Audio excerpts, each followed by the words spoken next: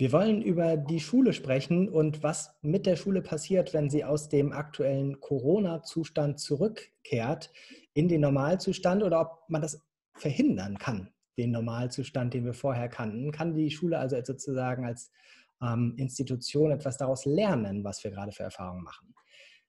Dieser Gedanke kommt nicht von mir, sondern von Professor Dr. Michael Schratz, mit dem wir jetzt sprechen. Er sitzt bei Innsbruck, wie alle im Moment im Homeoffice Michael Schratz vorzustellen, kann man auch schon eine halbe Stunde für aufwenden. Äh, Erziehungswissenschaftler, Schulforscher. Ähm, wir kennen uns vor allem aus dem Kontext vom Deutschen Schulpreis, wo er der Sprecher der Jury seit zehn Jahren ist. So was ungefähr, ja. Ähm, und er hat einen Artikel jetzt im Standard veröffentlicht für Österreich, wo ich sofort dachte, die Situation ist in Österreich nicht so anders, dass man das nicht auch für Deutschland mitdenken kann. Ähm, und er hat dort geschrieben, die temporäre Außer Außerkraftsetzung schulischer Routinen könnte eine Jahrhundertchance sein. Und sowas hat man ja selten. Auch wenn die Chancen nicht immer hoch sind, muss man sie sich auf jeden Fall angucken, wenn sie so groß sein können im Sinne von so mächtig. Wir wollen also darüber sprechen, ähm, was jetzt die Situation im Moment uns auch über Schule sagt und wollen gucken, was kann davon bleiben. Man muss vielleicht kurz einordnen, dass wir heute Anfang April 2020 haben. Wenn man dieses Gespräch also später sieht oder hört, dann muss man vielleicht sich vergegenwärtigen, heute Anfang April ist der Zustand eine große Unsicherheit. Wir haben in Österreich und in Deutschland die Schulen geschlossen, aber nur als, als, als Häuser geschlossen. Das heißt, es gibt sowas, was weiterläuft, was wir gar kein richtiges Wort haben. Unterricht trifft es nicht. Schule trifft es nicht. Vielleicht gucken wir gleich im Gespräch nochmal drauf, was das eigentlich jetzt ist, was da im Moment gerade passiert. Und ähm, ein wichtiger Moment ist sicher auch, dass wir nicht wissen, wie es gerade weitergeht. Also möglicherweise muss man uns äh, historisch dann bitte nachsehen, dass wir vom Standpunkt des 1. April 2020 drauf schauen. Und vielleicht noch eine Vorbemerkung, die mir auch wichtig ist. Ähm, wir beide nehmen uns jetzt diese luxuriöse Situation hier raus, dass wir über die Zukunft spekulieren, wohl wissend, dass es ganz viele Akteure gibt, die gerade viel, viel dringendere Sorgen haben, sowohl zu Hause als auch äh, in den Schulen beziehungsweise in den Homeoffice der Lehrerinnen und Lehrer. Ähm, das möchten wir auf keinen Fall in Abrede stellen. Gleichzeitig aber schauen, äh, was wird da draus. Das war der längste Teil, den ich gesprochen habe in diesem Gespräch. Jetzt ähm, möchte ich Michael Schratz für den Einstieg ähm, bitten, einfach zu beschreiben, diese, diese Idee, die du hast, Krise als Chance. Was meinst du damit? Ja, einerseits, äh, ich musste damals ja noch Altgriechisch lernen und das Wort Krise, wenn man es zurückverfolgt, hat in der Wurzel schon dieses äh, einerseits äh, in einer Phase zu sein, in der es sehr schwierig ist, weiterzukommen. Und zwar gerade deswegen, weil die alten Muster nicht mehr tragen, aber dass immer auch damit schon ein Höhepunkt verbunden ist, den man dann überwindet. Und dort geht es in eine andere Welt, von der man nicht weiß, was es ist. Und dadurch, dass ich in meinem phänomenologischen Ansatz von Lernen ohnehin davon ausgehe, und das kann man auch empirisch nach prüfen, ähm, lernen Menschen am meisten in einer Krise. Wenn man sich bei Mensch Managern anschaut, nach dem zweiten Herzinfarkt fangen sie an. Da kann man ihnen noch so oft sagen, so geht es nicht weiter. Und äh, jemand, der selber ein Kind hat, das nicht den Normalitätsansprüchen entspricht, fängt an zu denken, die Schule muss inklusiv sein. Und so habe ich auch beim Schulpreis Schulen erlebt, als sie das erste Mal ein Trisomie 21 Kind hatten und gemerkt haben, es geht nicht mehr. Jetzt kann man das als Krise bezeichnen oder auch als Chance. Und um das geht es mir als Pädagoge natürlich, dass man als Pädagoge ja immer optimistisch ist oder sein muss. Und hier eine äh, Situation, die wir jetzt haben, eine tatsächlich globale Krise, die bildet sich bietet sich ja tatsächlich nur einmal im Jahrhundert. Gott sei Dank auch, würde ich sagen. Und wir wünschen uns ja keinen Krieg, aus dem wir wieder lernen können. Und jetzt ist die Frage, was macht man damit? Man kann jetzt natürlich sagen, möglichst schnell wieder in den Ursprungszustand zurück. Oder man sieht das Ganze sowas wie eine Inkubationsphase für etwas Neues. Und dafür plädiere ich eigentlich jetzt diese Außerkraftsetzung des Alltags so zu nutzen, um zu schauen, wollen wir tatsächlich wieder dorthin, wo wir vor der Krise waren? Wir können das ohnehin nicht. Wir kommen immer als andere Menschen heraus. Oder aber das ist sozusagen der Schritt aus der unbewussten Inkompetenz in die bewusste Inkompetenz, zu sagen, wir wissen eigentlich gar nicht, was ist sozusagen das Neue, das sich hier eröffnen kann. Und dafür möchte ich plädieren, indem wir erstens lernen, wir haben gesehen, wie die Schulen plötzlich damit konfrontiert wurden, dass die Schüler nicht mehr in der Schule sind. Vorher, diese enorm energetisierende Bewegung von Friday for Future, äh, da haben die Verantwortlichen im Schulsystem große Probleme gehabt, den Schülern zu sagen, nein, ihr dürft da nicht hin, weil dort hätten sie eigentlich für das Leben im Leben gelernt. Und im Lehrplan steht ja, sie sollen Selbstständigkeit lernen, sollen sich politisch als mündige Staatsbürger engagieren. Und ich glaube, diese Widersprüche sind jetzt irgendwo deutlich geworden in dieser Situation. Und äh, das Zweite ist natürlich, äh, wir wissen ja alle, wie die Digitalisierung zu einer gesellschaftlichen Transformation beigetragen hat, aber die Schule noch sehr stark in den alten Mustern, im klassischen äh, Jokeface-Modus, wenn man so will, äh, verharrt. Und das hat natürlich auch eine gewisse Struktur, die Institutionen inne sind. Und wir sehen jetzt plötzlich über diesen sogenannten Fernunterricht, von heute auf morgen fangen Lehrende an, zu schauen, wie erreichen sie ihre Schülerinnen und Schüler virtuell. Und es ist unglaublich, was ich hier gehört habe von Menschen, die vorher gesagt haben, nee, das bringt alles nichts, warum sollen wir das machen, etc. Es werden allerdings in solch einer Situation auch die Probleme sichtbarer.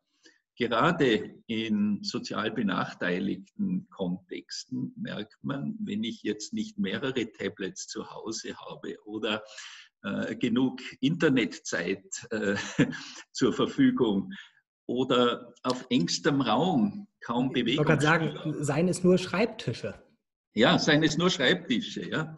Also wir erleben gerade dort, oder es gibt Schüler, die äh, von einzelnen Lehrern gar nicht erreicht werden. Also wir sehen hier, sozial werden einige abgehängt. Die sind auch im Unterricht, emigrieren in sich selber, werden abgehängt, aber es wird nicht so sichtbar wie hier. Und auch hier, glaube ich, wird äh, deutlich, dass wir eine Chance haben, etwas zu lernen. Wenn wir nur wollen, ist natürlich die Frage. Du hast ein schönes Bild gebraucht in dem Artikel, den ich gelesen habe, nämlich, dass die Schule verrückt wurde durch die Situation. Ähm, vielleicht tatsächlich für die Geschichtsbücher, für Menschen oder die jetzt nicht äh, selber Lehrer, Lehrerin sind oder die selber keine Kinder haben. Ähm, wie, würdest du diese verrückte Situation beschreiben und das Verrückten begründen? Naja, im Wort selber liegt ja schon, es wird etwas woanders hingerückt, als es vorher war. Die Schule, das Klassenzimmer ist plötzlich zu Hause eingezogen. Und in einer Routine, wenn etwas verrückt ist und nicht mehr dort ist, wo es ist, dann stelle ich es normal wieder zurück, weil wir Menschen natürlich, und das ist natürlich auch eine Überlebensnotwendigkeit, ähm, Routinen benötigen. Das ist ganz klar, wenn wir jedes Mal wieder anfangen müssen, sozusagen unser Alltagsleben zu erfinden, dann würden wir uns verdammt schwer tun, überhaupt äh, einen Fortschritt zu machen. Aber wenn wir jetzt dieses Bild des Verrückten hernehmen, dann hat es ja auch im Wort in sich, dass etwas nicht mehr stimmt, nicht mehr stimmig ist, ausbricht aus dem, was ich als normal sehe. Und das ist etwas, wo wir Menschen natürlich auch immer in unseren Mindsets oder Frames of References beschränkt sind. Und es findet eine Art Entgrenzung statt. Und was ja faszinierend ist, dass ich von einzelnen Lehrern höre, dass sie durch diese Distanz, durch diese Entgrenzung plötzlich eine nähere Beziehung zu ihren Schülerinnen und Schülern haben, als sie das im Klassenzimmer hatten, obwohl sie wirklich verrückt sind, örtlich. Ja. Und das sind Sachen, glaube ich, die sehr viel nachdenklich machen können, wenn ich das von Lehrpersonen höre. Andererseits habe ich natürlich auch gehört, äh, dass hier einzelne Lehrpersonen die Schüler bombardieren mit fotografierten oder kopierten Arbeitsblättern. Und hier zeigt sich natürlich, dass wir noch nicht in der Lage sind, die transformatorische Kraft dieses neuen Mediums so zu nutzen, dass es für die Schule neue Chancen eröffnet. Denn Arbeitsblätter, die brauche ich jetzt nicht zum 25. Mal in dieses Medium geben, wo dann zu Hause wieder deutlich wird, mir fehlt der Drucker, dass ich es überhaupt ausdrucken kann, etc.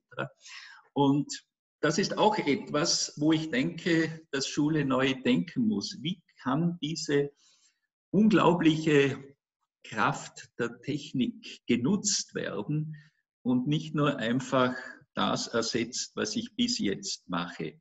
Auch eine Möglichkeit, die sich hier sehr stark zeigt.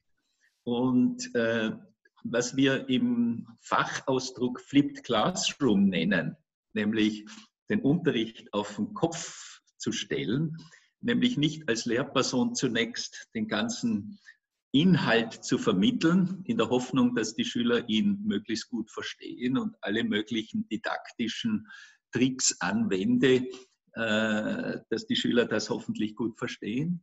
Zunächst die Schüler stöbern lassen in der weiten, weiten Welt des WWW und dann eher meine Kompetenz als Lehrperson einsetzen, äh, mich mit dem Verstehen auseinanderzusetzen, auch kritisch sich auseinanderzusetzen, was ist überhaupt hier in dieser riesen Erfahrungswelt, was hier herauskommt, überhaupt mit Face Value so zu übernehmen, äh, die kritische Auseinandersetzung. Dort brauchen wir heute Pädagoginnen und Pädagogen, denn das Wissen ist heute von allen Seiten so leicht zugänglich, dass die klassischen Wissensaneignungsformen, wenn ich zurückdenke, die Hauptstädte von Afrikas Ländern auswendig zu lernen.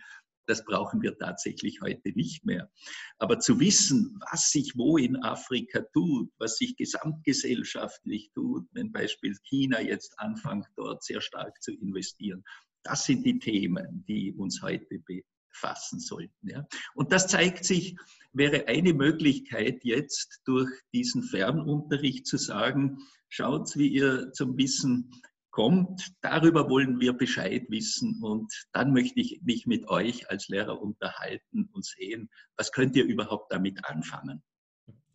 Für mich war in der Beschreibung der, des neuen Zustandes auch das Bild sehr schnell drin, was ich von dir gelernt habe, von der lernseitigen oder lehrseitigen Betrachtung von, sagen wir, Unterricht, nennen wir es mal jetzt genau. diffus so. Ja. Ähm, weil jetzt ja sehr schnell deutlich wird, dass wir bisher gesagt haben, Unterricht findet statt. Ich sage mal, ich gehe durch eine Schule und ähm, ich vermute, Unterricht steht fest, wenn ich lehrseitige Bemühungen sehe. Ja. Und dann reicht mir das wahrscheinlich aus, damit ich denke, ah, okay, dann wird wohl auch Lernen stattfinden. Wenn ich aber zum Beispiel nur einmal am Tag Kontakt habe als Lehrperson mit dem Lernenden, dann wird plötzlich vollkommen klar, was vorher vielleicht als Illusion da war, dass die schon lernen, nur weil sie freundlich gucken, vielleicht auch nicht freundlich, Hauptsache sie haben die Augen auf. Ja. Ähm, ja. Aber wenn ich die jetzt allein lassen muss, selbst wenn ich super engagiert bin und sage, ich kann vormittags und mittags und nachmittags nochmal vorbeigucken, dann müssen trotzdem die immer noch selbst lernen zwischendurch. Und das, was ich machen kann, ist sozusagen nur dafür einen Rahmen bieten. Und es wird so schnell sichtbar, dass dieses Lernen aber nicht der automatische Reflex auf mein Lehren sein würde. Ja. Ich finde es schön, dass du äh, diese Begrifflichkeit aufgreifst, weil ich lange überlegt habe, wie kommen wir aus diesem Dilemma heraus. Weil auch wenn jemand sagt, ich unterrichte schülerzentriert, es ist immer lehrseits, wenn ich jetzt sozusagen das vorbereite, was ich glaube, was diese Schüler brauchen. Aber wenn ich jetzt äh, an die Zeit denke, als diese Flüchtlingsströme ein, daherkamen, wie will ich wissen, was diese Menschen brauchen? Ich habe ja gar nicht die Chance, hier didaktisch mich einzustellen. Und deswegen ist eine lernseitige Perspektive, das heißt, Lehren vom Lernen her zu denken, ein wichtiger Schritt, den ich hier erforderlich finde. Und der kann hier sehr stark ein Ausgangspunkt sein, was wir hier aus der Krise lernen können. Da muss ich mal genau schauen, was kriege ich überhaupt von den Schülern und nicht, ich bewerte nur, was sozusagen sie dann an Leistung meiner Vorgabe äh, die richtige, das richtige Einfüllen von Wörtern in ein Worksheet oder ähnliches bringen. Und an diesem Beispiel sieht man schon, das braucht einiges an Umdenken, denn die, in der ganzen Lehrerausbildung geht es ja darum, die didaktische Kompetenz, also das Lehren äh, entsprechend zu optimieren, zu effektivieren.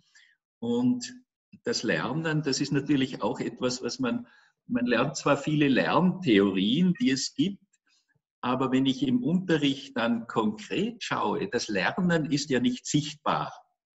Und wir glauben, und das ist einer der großen Mythen im Bildungswesen, äh, dass wir glauben, dass Lernen das Ergebnis von Lehren ist.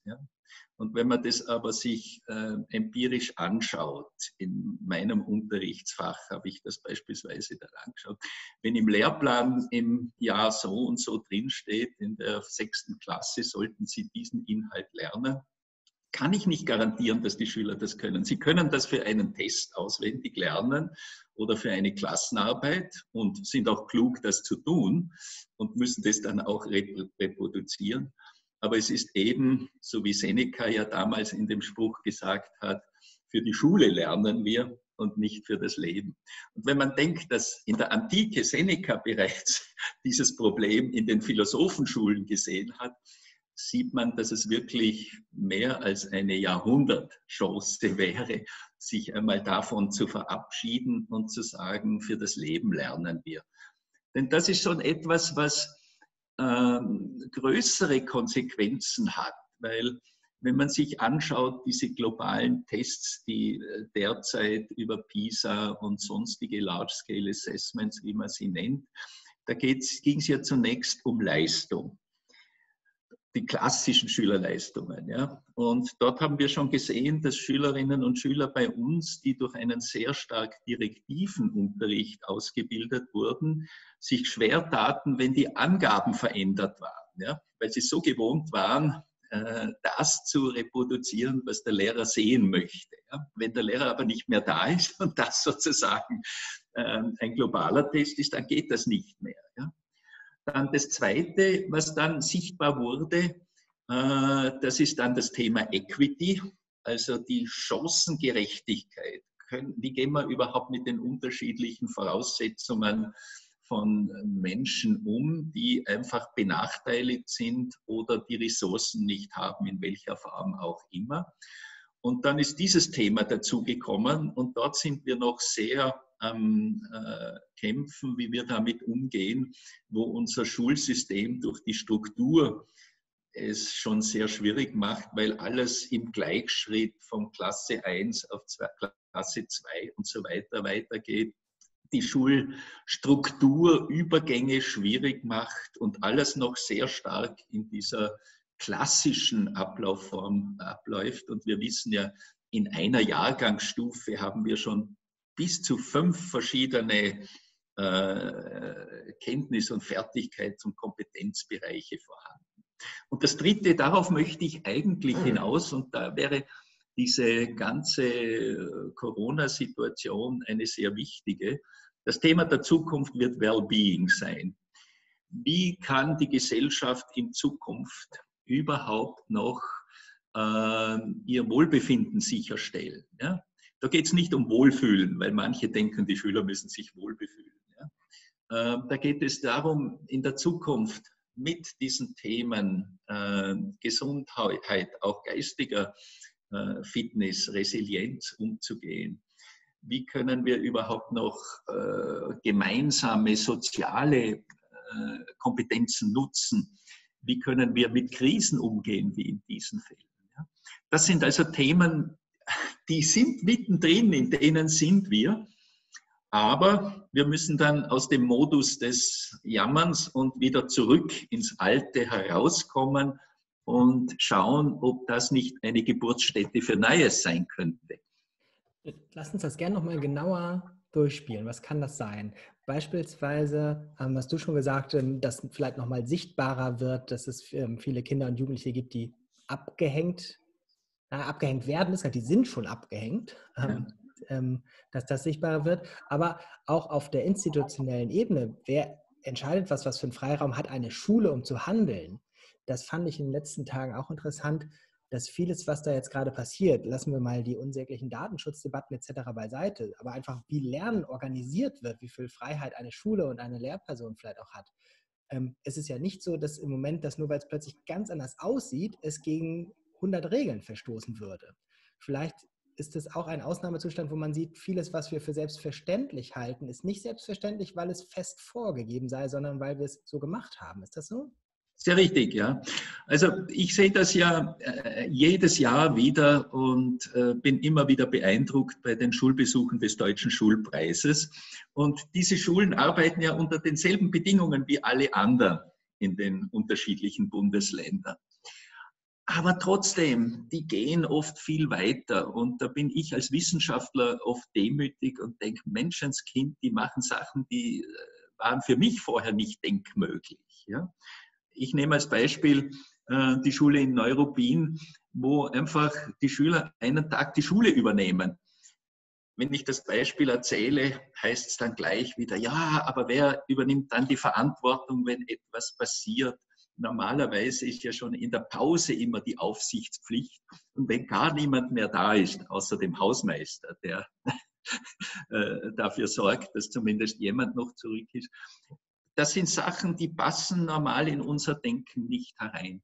Und das kann man über so viele Bereiche sehen. Und gerade Schulen, die in schwierigen Lagen waren oder sind, wir haben das ja letztes Jahr beim Schulbesuch in Hamm gesehen, wo einfach kluge Ideen entstanden sind und uns dann der zuständige Polizeibeamte gesagt haben, plötzlich gehen die Schüler wieder mit Freude in die Schule, was er vorher nicht gesagt habe da passiert etwas, das tut etwas mit Menschen und mit Institutionen.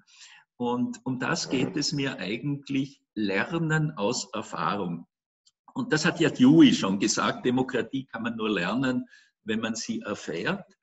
Aber wenn wir noch weitergehen, äh, und das sagt Käthe Meyer-Drave, eine bekannte deutsche Lerntheoretikerin, die sagt, wir lernen nicht nur aus Erfahrung, sondern Lernen ist eine Erfahrung als solches. Sie selbst ist eine Erfahrung.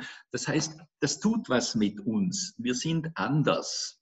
Das ist etwas, was wir sind anders als vorher. Wenn ich etwas kann, kann ich es. Ich kann nicht mehr in den Zustand zurückgehen, wo ich es nicht kann.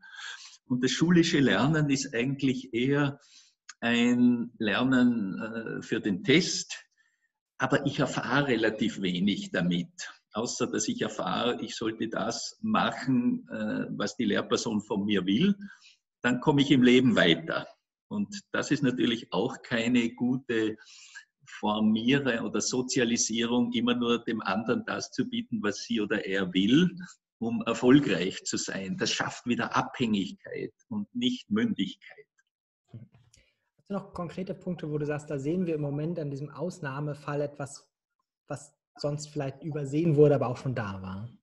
Ja, naja, das eine, was ich schon erwähnt habe, ähm, wir sehen, wenn die Schüler aus der Schule sind, sind sie weg und wie will ich sie erreichen? Ja?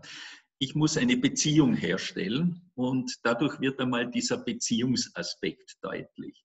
Und für mich ist es faszinierend zu sehen, wie die Schüler, die Lehrer sich äh, bemühen, dann weil sie den, den Schüler nicht so nah bei sich haben, äh, plötzlich ihn oder sie ganz anders sehen und verstehen, hinhören müssen, was meint er überhaupt. Ja? Also das, glaube ich, ist etwas, wo man sehr viel mitnehmen kann.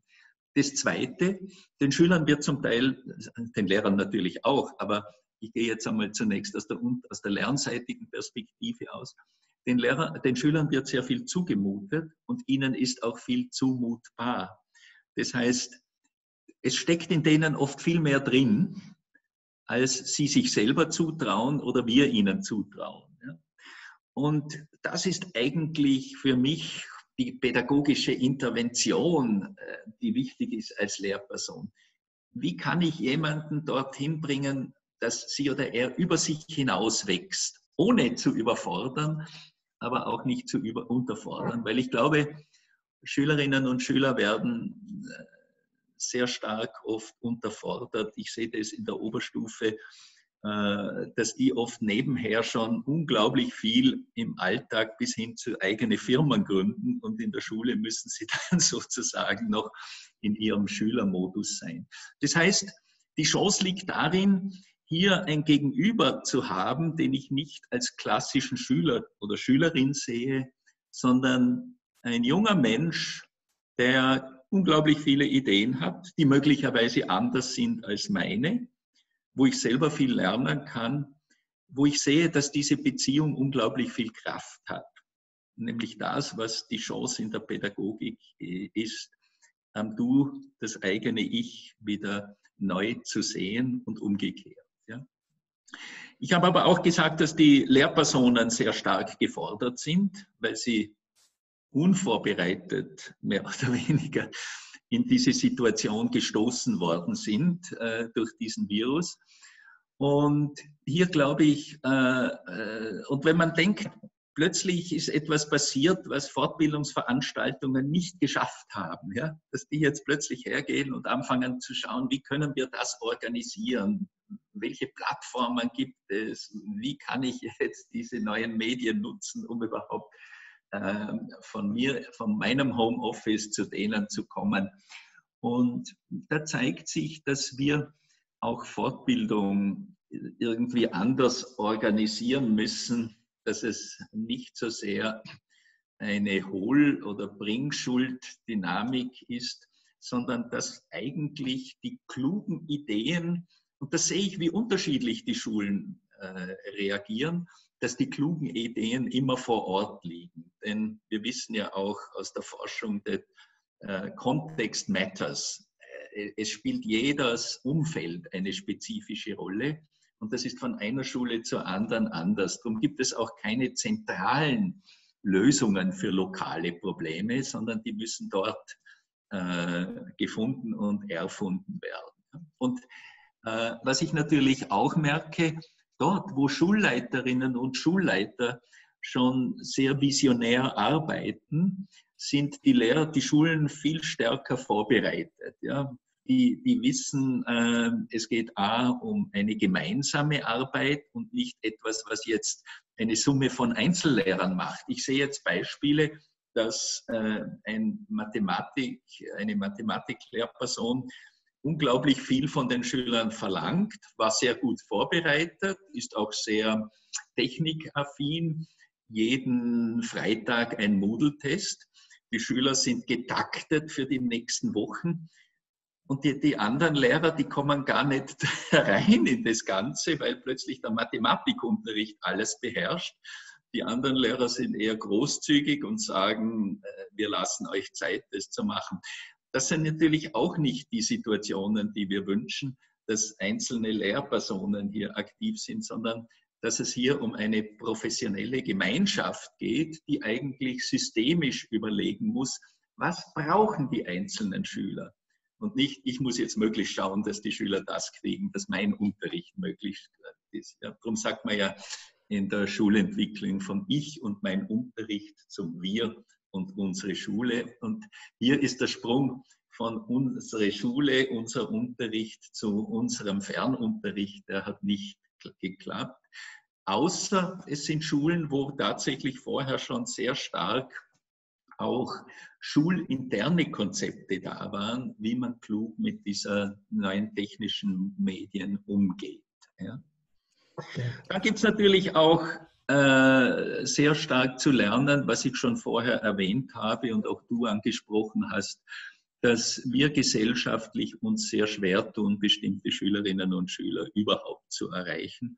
Und ähm, hier zeigt sich, dass die bisherigen Formen, die zur Verfügung standen, äh, nicht greifen. Das heißt, hier müssen wir tatsächlich auch schauen, die, die, die ganze Inklusionsdebatte scheint ja an dem zu hängen.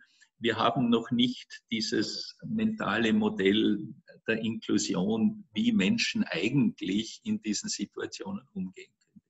Und das wäre ja auch die Chance zu sagen, wenn wir zurückkommen, haben wir erlebt, hier wird etwas sichtbar, wo wir noch keine Lösung haben. Und dann alles, äh, wir als Menschen sind ja die, die Erfindungen in die Welt setzen. Und einerseits gibt es natürlich auch Forscherinnen und Forscher, die hier schon sehr viel gemacht haben. Es gibt auch in einzelnen Ländern Beispiele, die hier schon sehr weit gekommen sind, dass man sagt, wie kommen wir jetzt an dieses Wissen heran? Und insofern wäre es dann in diesem Sinn wieder verrückt, wenn wir alles wieder zurückrücken an den alten Ort im Bewusstsein. Und ich glaube, das ist wirklich etwas, es werden hier Sachen bewusst, die vorher nicht da waren und die man tatsächlich auch ernst nehmen muss. Und das ist natürlich immer ein, ein Prozess, der nicht sehr angenehm ist, wenn etwas von einer unbewussten Inkompetenz in die bewusste Inkompetenz kommt. Ja? Weil wir eigentlich gewohnt sind, keine Fehler zu machen. Ich muss alles richtig zu machen. Ich muss alles richtig machen. Und jetzt haben wir die Chance zu sehen, wir machen viele Fehler in dem, was wir tun, aber wir können daraus lernen. Ähm, da gibt es noch einiges, was wir noch nicht können. Und wenn dieses Bewusstsein tatsächlich auch kollektiv, meine ich, bei Einzelnen findet es ohnehin statt, äh, in, in die Schulwelt kommt, dann wäre es tatsächlich diese Jahrhundertchance. Auf der individuellen Ebene sehen wir das, glaube ich, schon sehr stark. Also ich hatte gestern ein Gespräch mit einer Lehrerin, die sagte, sie lernt im Moment jeden Tag so viel, ja, ähm, sie, für sie war nicht vorstellbar quasi, dass man so viel lernen kann sozusagen. Und ja nicht in einer Fortbildung, sondern im täglichen Handeln. Und das ist ja auch eine Ebene, die ein bisschen unsichtbar vielleicht in der Öffentlichkeit ist, auch weil viele Lehrerinnen und Lehrer jetzt in einem ständigen Austausch sind. Ja. Ähm, die haben ja auf dem einen Kanal, ähm, wenn es digital ist, den Kontakt zu den Schülerinnen, aber viele Lehrerinnen und Lehrer halt auf dem anderen Kanal auch den Kontakt in Teams, in Kollegien oder in vernetzte Communities über das Internet. Und sie sagte, ähm, also sie war auch in seinem interessanten Zwischenzustand, sie war vollkommen erschöpft, weil es ja auch sehr anstrengend ist und gleichzeitig sehr, sehr beflügelnd. Ähm, hast du eine Idee, wie man diese beflügelte Seite so stärken kann, dass das, dass das trägt? Ja. Äh, das ist ein wunderschönes Beispiel, das du von dieser Lehr Lehrerin erzählst, weil hier zeigt sich, dass eigentlich äh, oft höre ich von Lehrpersonen, ich hab, wir haben viel zu wenig Zeit oder äh, wir, wir, haben zu wenig Zeit, Polster zur Verfügung für Fortbildung und ähnliches. Wir müssen eigentlich umdenken und das wird an einem, an deinem Beispiel sehr schön. Es geht, geht eigentlich um die Energie. Wenn eine Energie da ist, die fließt, dann schaue ich nicht auf die Uhr. Dann äh, erlebe ich das eigentlich, wie du sagst, beflügelnd. Und diese energetisierende Kraft eines gemeinsamen Tuns zu erleben, was Neues zu entwickeln, erfolgreich zu sein oder auch an etwas zu arbeiten, wo wir den Erfolg noch nicht haben und auch die Unterstützung der anderen mitzukriegen, das wäre wirklich eine sehr schöne Leistung. Also meine Antwort ist mehr zu schauen, wie können wir in eine organisationale Energie kommen, also nicht nur eine Einzelperson, das zeigt ein Beispiel auch sehr schön. Deswegen spricht man ja auch von professionellen Lerngemeinschaften, die als Profis immer noch sozusagen ihre Professionalität nutzen, um weiterzukommen, sich gegenseitig zu beflügeln und voneinander und miteinander zu lernen. Und da, wie du sagst, braucht man sich gegenseitig. Und, und da ist ja unglaublich viel möglich. Und äh, wenn man sich jetzt allein anschaut, wie klassischerweise Konferenzen in Schulen ablaufen, wenn da 50, 60 Leute am Tisch sitzen, da ist keine Energie da. Da wartet jeder nur, bis man die Tagesordnung abgearbeitet hat. Und das könnten wir hier lernen, wenn tatsächlich äh, Menschen das einmal erlebt haben. Und da sind wir wieder bei dem Thema, Lernen ist eine Erfahrung. Das hat was getan mit dieser Lehrerin. Das hat sie beflügelt. Und das übertragt sich ja auch auf die Schülerinnen und Schüler genauso. Ein energetisierender Unterricht, da schauen die Schüler nicht auf die Uhr, die sagen eher, ah, warum können wir nicht weitermachen? Das ist jetzt so spannend. Beim nächsten Mal geht es wieder dran. Was möglicherweise notwendig wäre und was wir natürlich auch bei erfolgreichen Schulen schon sehen, dass wir die klassischen Strukturen aufbrechen müssen, weil in 50 Minuten Stunden, die ständig einen Wechsel bringen, wird das sehr schwer möglich sein. Denn wenn man jetzt tatsächlich in einen gemeinsamen Flow kommt und genau dann aufhören muss und dann die nächste Lehrperson hereinkommt, ähm, ist das irgendwie kontraproduktiv für ein solches Vorgehen. Ja? Und äh, das andere, was man ja an diesem Beispiel sieht, viel mehr noch im und am Leben lernen.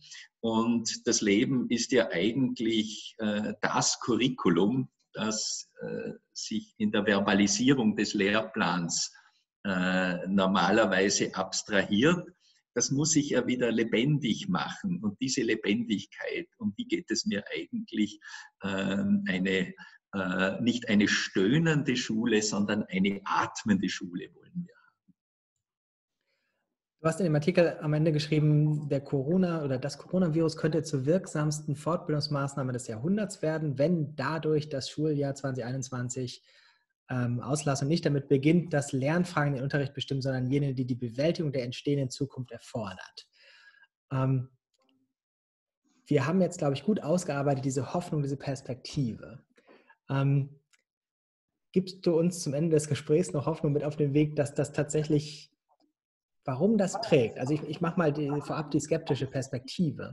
Ich teile deine Einschätzung, dass viele Lehrerinnen und Lehrer jetzt erlebt haben, dass das anders sein kann.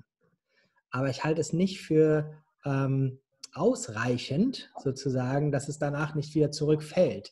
Ich habe es muss schon vielleicht 10, 15 Jahre her sein, bei unserem gemeinsamen Bekannten Reinhard Karl, der hat Daniel Barenboim interviewt, der einen Musikkindergarten gegründet hat. Ja. Da gibt es dieses Zitat, wo Barenboim sagt, er hat einen Musikkindergarten gegründet, weil er wollte, dass die die Erfahrung machen, dass Musik immer da ist und dann kommen die später in die Schule und dann hauen die auf den Tisch und sagen, wo ist die Musik? Und das fand ich total schön. Ja. Und dann habe ich oft gesehen, dass Schülerinnen und Schüler oder Kinder allgemein so dermaßen flexibel sind, dass sie sich in Wochen an neue Gegebenheiten anpassen können und dann eben das zurücknehmen und akzeptieren, dass es keine Musik gibt. Und nicht sozusagen so lange und so viel Unruhe mit sich tragen können, äh, dass das dann dazu führt, dass es sich tatsächlich fortsetzt. Kannst du zum Ende da sozusagen mir Hoffnung geben? Was hilft uns, dass diese Fortbildungsmaßnahme zur Chance des Jahrhunderts werden kann? Ja, erstens glaube ich, äh, dass hier wirklich sehr viel Verantwortung bei den Führungspersonen liegt. Und deswegen reden die Engländer, Amerikaner ja von Leadership. Ja? Das heißt, etwas, wo ich wirklich in die Zukunft schaue und äh, die, diese Visionen habe. Und eine Vision ist ein inneres Bild einer wünschenswerten Zukunft. Und wenn ich natürlich schon kein inneres Bild einer wünschenswerten Zukunft habe, dann ist es schon schwierig, überhaupt in die Zukunft zu entwickeln. Das wäre jetzt der erste Tipp, einmal äh, zu sagen, äh, was ist eigentlich mein inneres Bild, das die Schulleitung für die Schule möchte, aber das aber auch jede Lehrperson aus ihrer Sicht möchte für ihren Unterricht. Ja? Wo möchte ich, dass diese Schülerinnen und Schüler, die hier sitzen, in 15, 20 Jahren sind? Ja? Und da tun wir uns natürlich verdammt schwer, aber diese Übung hilft zumindest, äh, aus dem engen Denkraum äh, zu kommen, als ich wüsste, was für diese Schüler das Richtige ist, was sie lernen sollten. Das ist einmal schon eine Erkenntnis. Wenn ich nicht weiß, was die überhaupt in 20 Jahren brauchen, dann darf ich nicht so tun, als wüsste ich das. Das Zweite, äh, ich müsste sozusagen im Sinne des rückwärtigen Designs mir überlegen, wenn ich sozusagen nicht voraussehen kann oder auch keine Vision entwickeln kann von dem, kann ich aber zumindest möchte ich ja als Lehrperson, und wir wissen aus der Forschung, Lehrpersonen, für sie ist das Wichtigste, dass sie bei den Schülern was bewirken. das ist stärker als eine finanzielle oder sonstige Ressource. Sonst wären die meisten ja nicht Lehrer, weil sie ja diesen pädagogischen Eros haben und was vermitteln wollen. Ja. Und zu überlegen, äh, wann, was würden diese Schüler in 10, 15, 20 Jahren mir rückmelden, was sie tatsächlich jetzt bei mir gelernt haben.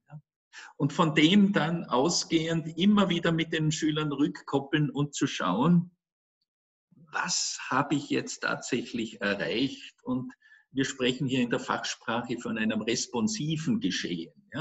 Eine Didaktik ist klassischerweise nicht responsiv, sondern die ist sehr monodirektional. Äh, eine Studie hat einmal ergeben von einem äh, Kollegen, dass in den industrialisierten äh, Ländern überall ein bestimmtes Muster, das sogenannte IRE, äh, abläuft. I steht für Initiation im Englischen, also die Lehrperson initiiert. Ähm, R, R steht für der Schüler, die Schülerin respondiert, nämlich wenn der Lehrer eine Frage stellt, antwortet die Schülerin. Wenn die Lehrperson eine Hausaufgabe gibt, dann antworten die Schüler mit dem, was sie brauchen müssen. Wenn jetzt im Fernunterricht etwas kommt, müssen sie das liefern. Und das E am Schluss steht für Evaluation, Evaluation. Und durch den Lehrer. Und was sagt die Lehrperson? Richtig oder falsch? Und bei richtig gibt es dann noch unterschiedliche Noten, wenn es ein Notensystem gibt. Und bei falsch kriege ich entweder noch einmal eine Frage oder muss das Schuljahr wiederholen.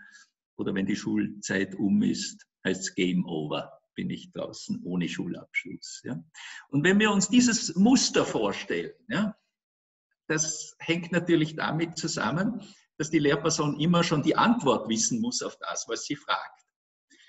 Und dieses Muster zu durchbrechen, einmal pro Stunde eine Frage zu stellen, wo ich als Lehrperson selbst nicht die Antwort weiß.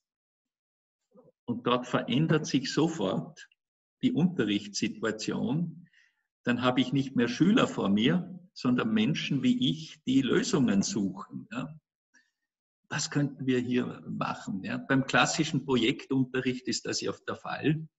Da weiß die Lehrperson selber vorher die Antwort nicht, weil sonst wäre es kein Projekt. Ich brauche nicht ein Projekt machen, wenn ich eh schon das Ergebnis kenne. Ja. Und äh, ich, wir können natürlich nicht erwarten, dass sich von heute auf morgen der Unterricht völlig auf den Kopf stellt. Aber wir können tatsächlich, Stichwort Flipped Classroom, Projektunterricht, Fragen stellen, wo ich die Antwort selbst nicht weiß. Äh, oder bereits, wie wir das bei der Schule in Hamm, der Grundschule gesehen haben, die bereits in den ersten Lernjahren über Wochen an Themen arbeiten, an denen sie interessiert sind. Ja? dann sind die Schüler dran, dann läuft das Lernseits, dann haben wir die Energie, die fließt und ich als Lehrkraft kann mich dort einsetzen. Ja. Das klingt jetzt natürlich alles äh, sehr schön, äh, muss aber, wie du richtig sagst, orchestriert werden. Das kommt nicht von selber. Ja. Und ich habe auch äh, immer wieder gesagt, wenn wir jetzt diese Außerkraftsetzung des Alltags haben, wäre für mich der erste Schritt, bevor ich wieder zurückgehe, zu sagen, was können wir daraus lernen? A, von dem, was die Schüler gelernt haben. Wir haben ja die große Debatte jetzt, was passiert mit, der, mit dem Abitur. Und hier die Schüler sagen, wir brauchen unbedingt mehr Zeit, weil wir uns auf diese Fragen vorbereiten müssen. Ja? Jetzt ist das aber eine Reifeprüfung, die sollte die, die Reife dieser 18, 19, 20-Jährigen äh, dokumentieren. Ja? Aber auch dort sehen wir wieder, es geht um Schulfragen, um Prüfungsfragen, nicht Reifungsfragen für das Leben. Die hatten 12, 13 Jahre bereits, um sich zu bilden und tatsächlich unser Bildungssystem als wertvolle Ressource zu nutzen, einmal dann tatsächlich anzuschauen, eine Reifeprüfung als solche herzunehmen, um auch den Reifebegriff genauer anzuschauen, nämlich was haben wir geschafft, dass die jetzt fürs Leben lernen? Sind die tüchtig, um zu überleben, sei es indem sie studieren äh, müssen, sei es, indem sie Firmen gründen, sei es, indem sie jetzt bereits in die Arbeit gehen und, und, ja. Also es gäbe hier genug an Anregungen, aber es braucht natürlich schon auch den Mut, jetzt zu sagen, jetzt tun wir es einfach. Und das ist, äh, hat schon Erich Kästner gesagt, es gibt nichts Gutes, außer man tut es. Mit Kästner zu enden ist immer gut. Aber ich möchte trotzdem noch fragen, hast du noch was anderes, wo du sagst, dass wir sollten nicht endet haben, ohne das gesagt zu haben? Ja, ich glaube, was schon auch äh, hilft, immer auch eine externe Sicht hereinzunehmen. Ja? Äh, und hier merke ich, dass äh, bei Schulen wie Blick über den Zaun immer auch eine Externalisierung stattfindet. Ich kann aber auch jemanden aus der Wirtschaft einmal hereinholen in die Schule und sagen, was fällt euch auf, wie wir hier arbeiten? Ja? Ich kann auch jemanden aus einem ganz anderen Bereich, aus dem Wissenschaftsbereich äh, hereinnehmen. Ja? Und das sind alles äh, Chancen, die diese alten Muster durchbrechen, wo ich als Lehrer bereits die Antwort für die Schüler weiß. Und ich glaube, dort müsste man wirklich ansetzen. Wir merken gerade ja bei äh, dieser Corona-Epidemie, das ganze Wissen der Welt hilft nicht, um dieses Problem zu lösen. Das heißt, äh, wir müssen von dieser unbewussten Inkompetenz ausgehen und zu schauen, und das hat ja auch schon Sokrates gesagt, ich weiß, dass ich nichts weiß, aus diesem Modus heraus äh, Schule neu zu denken und auch dieses immer wieder, was man bei jungen Menschen sieht, äh, erfahren zu können, was es heißt. Das ist nur nicht etwas, was nur im Lehrplan steht und dann über Arbeitsblätter durch Ausfüllen von äh, Lehrstellen sich anhäuft, sondern wo ich selber an etwas wachse. Aber das klingt alles natürlich noch sehr abstrakt, hängt natürlich auch damit zusammen, dass ich wirklich nur immer in meinem Umfeld äh, mit den Menschen, die da sind, das machen können. Und das erlebe ich auch an diesen Schulen, äh, dass dann die Lehrer plötzlich äh, Sachen machen, die sie sich vorher gar nicht vorstellen können, hätten können, was man aber nicht von außen leicht anstoßen kann, sondern diese Krise äh, ist ja immer ein Anstoß von innen sozusagen, wo ich selber, ich wiederhole mich und sage, es tut was mit mir. Und diesem Tun, was es mit mir tut, nachgehen und zu sagen, was kann ich sozusagen äh, aus dieser Situation heraus, was kann sich hier Neues entwickeln. Darum habe ich ja auch bewusst dieses Wort Inkubationsphase für Neues genannt. Das heißt, jetzt nicht so sehr den Krisenmodus als Problemraum zu sehen, sondern als einen Lösungsraum für Neues, eine Geburtsstätte für Neues, mhm. das dann auf die Welt kommen kann. Sehr schön. Für Menschen, die das im Internet finden, wir verlinken mal unter diesem Video oder Podcast ähm, den Artikel, den ich mehrfach zitiert habe aus dem Standard, die ähm, Gebrüder Grimm Schule in Hamm äh, den ja. Michael Schatz mehrmals als Beispiel erwähnt hat. Beim Deutschen Schulpreis gibt es da auch ein gutes Porträt. Und äh, den Blick über den Zaun kann man auch immer gut nochmal erwähnen und verlinken. Das sind cool. ja auch Punkte, wo man tatsächlich nochmal eine Konkretisierung reinkriegt und sehen kann, ah, okay, so wird das da gemacht, ohne dass ähm, jetzt, jetzt ein 1 zu 1 Rezept zum Kopieren wäre, aber zum Sehen und erkennen, dass es anders geht und dass tatsächlich auch, das sehen wir auch beim Deutschen Schulpreis seit langer Zeit, jede Schule den eigenen Weg geht. Ja. Michael, ganz, ganz herzlichen Dank dir. Gerne, war eine Freude mit dir äh, über Dinge zu reden, die nicht nur mir ein Anliegen sind, sondern die tatsächlich ich auch immer von anderen Schulen und Lehrpersonen lerne. Und dieses gemeinsame Weiterkommen oder Weiterbringen, denke ich, ist etwas, was wir uns als Menschheit auch stark gemacht hat. Ja. Ich danke auch für die Möglichkeit und äh, bin schon neugierig, wie es weitergeht. Danke.